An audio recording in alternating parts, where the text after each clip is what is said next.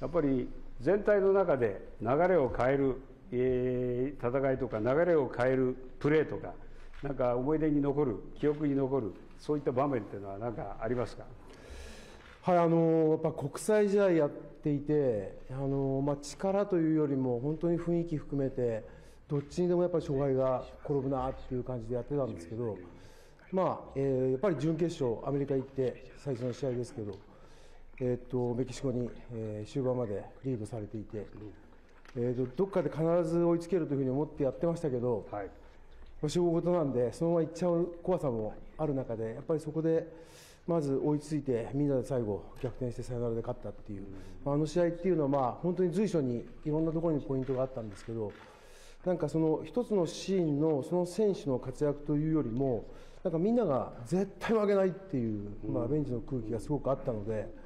本当にこっちも落ち着いて指揮取らせてもらいましたし、まあああいうこう切羽詰まった時のやっぱり日本の選手のトッププレーヤーの強さというか、まあ、それはすごく感じたんで、やってて本当にこう頼もしいというか、まあ、怖いというよりも楽しかったんで、本当素晴らしかったと思います。はい。そうですか。ね本当に。いやいやあの